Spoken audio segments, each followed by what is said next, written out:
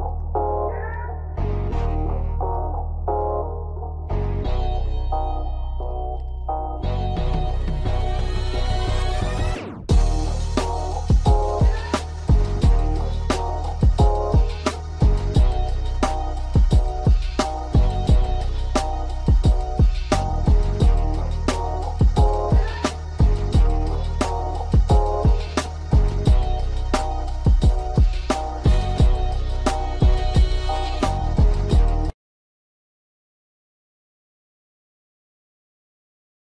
மாணவர்களே இந்த புகைப்படம் எங்கே இருக்குன்னு உங்களுக்கு தெரியுமா?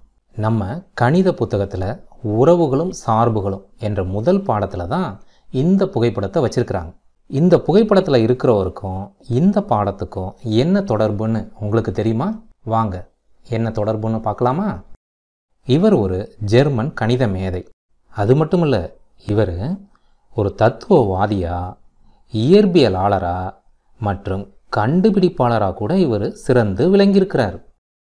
மேலும் இவர் புவியியல் மருத்துவம் உயிரியல் நோய் தொற்றியல் புதை படிமவியல் உளவியல் பொறியியல் மொழிநூல் சமூகவியல் நெறிமுறைகள் வரலாறு அரசியல் சட்டம் இசை கோட்பாடு போன்ற இருபத்தாறு தலைப்புகளில் இவர் தன்னுடைய கருத்துக்களை எழுதி வெளியிட்டிருக்கிறார்.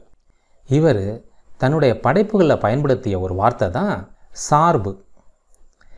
இந்த வார்த்தை எதற்காக இவர் பயன்படுத்தியிருக்கிறாரு? எந்த கருத்தை வெளியிடுறதுக்காக பயன்படுத்தியிருக்காரு தெரியுமா? வளைவின் எந்த ஒரு அளவும் ஒரு புள்ளியிலிருந்து மற்றொரு புள்ளிக்கு மாறுபடும் அப்படிங்கிற கருத்தை தெரிவிக்கிறதுக்கு தான் இவர் சார்பு என்ற வார்த்தையை பயன்படுத்தியிருக்கிறார்.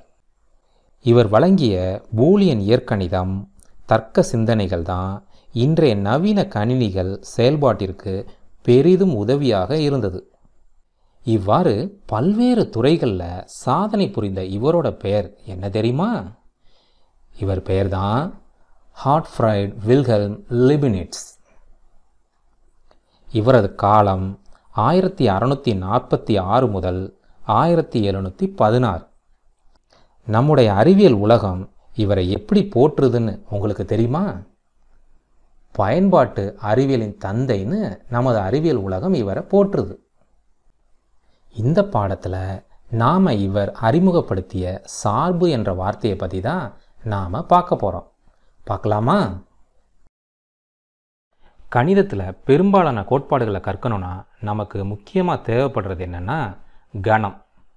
கணம் என்பது நன்கு வரையறுக்கப்பட்ட பொருள்களின் தொகுப்பு அப்படிங்கிறது நாம் ஒன்பதாம் வகுப்புலேயே படிச்சிருக்கிறோம். அது உங்களுக்கு நினைவு இருக்குது தானே இந்த பாடத்தில் கணம் என்ற கருத்தை உறவுகள் மற்றும் சார்புகள் என்ற இரண்டு வடிவங்களில் நாம் படிக்க போகிறோம் மாணவர்களே நம்முடைய அன்றாட வாழ்க்கையில் ஒவ்வொரு நிகழ்ச்சியும் அதாவது ஒவ்வொரு நிகழ்வும் உறவு அல்லது சார்புகளை தொடர்பு படுத்தி தான் இருக்குது எடுத்துக்காட்டாக வாகனம் செல்லும் தூரத்தையும் அதற்கான காலத்தையும் ஒரு செயல்பாடாக நாம் சொல்லலாம். அதே போல் பொருளின் விலையையும் அந்த பொருளின் தேவையையும் ஒரு செயல்பாடாக நாம் குறிப்பிடலாம். மாணவர்களே உறவுகள் மற்றும் சார்புகள் பற்றி நாம் படிக்கிறதுக்கு முதல்ல இரண்டு வெற்றிலா கணங்களுக்கு இடையேயான கார்ட்டீசியன் பெருக்கல் பற்றி நாம் தெரிந்து கொள்ள வேண்டும். அதாவது வெற்றிலா கணம் ஏ மற்றும் பிக்களை கொண்டு கார்டீஷியன் பெருக்களை பயன்படுத்தி புதிய கணம் உருவாகும் முறையை தான் நாம் இப்போ படிக்க போகிறோம் இவ்வாறு ஒரு புதிய கணம் உருவாகும் முறையை பற்றி நாம் அடுத்த வீடியோவில் பார்க்கலாமா?